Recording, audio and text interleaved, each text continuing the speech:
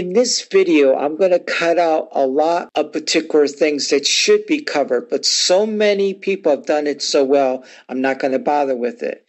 You know, we already know others have pointed out that at one time the Watchtower had no beef with Jesus dying on the cross.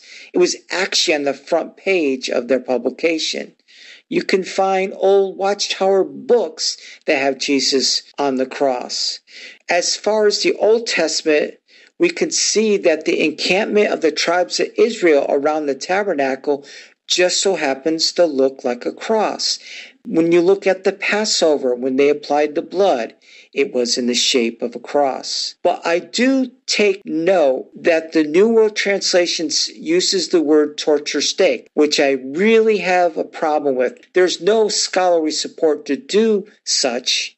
And even their Greek New Testament interlinear doesn't even do that. But the problem I see in mistranslating it that way, it paints a picture of an ever dying Christ instead of the finished work of, of Jesus. Now, there are key arguments for Jesus dying on the cross. I'm not going to cover it.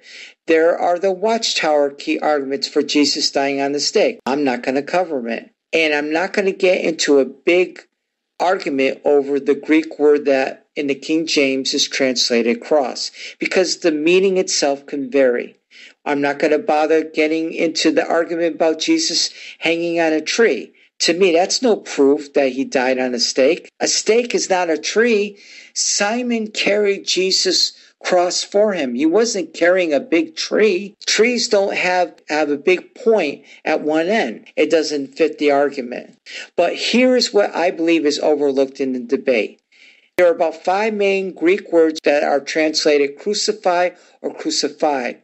The main one is the one I'm going to argue, and I'm going to put it up on the screen. And here's the point it can only mean to impale on the cross. That's it. Why is that so important? If the only definition is to impale on the cross, not a stake, not a post, but only a cross, and it's mentioned so many times in the scriptures, then that's proof in itself that Jesus died on the cross.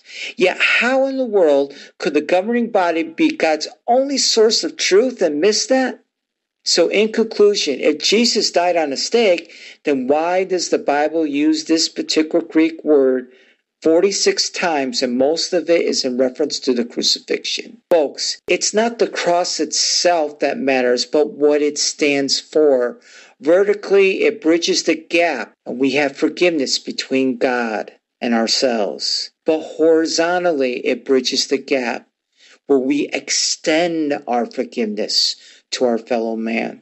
You know, when Jesus was asked what the greatest commandment of all, Jesus responded not just with one, but with two. Love the Lord your God with all your heart and love thy neighbor as yourself. By the work of the cross, we can not only be reconciled with God, but with each other.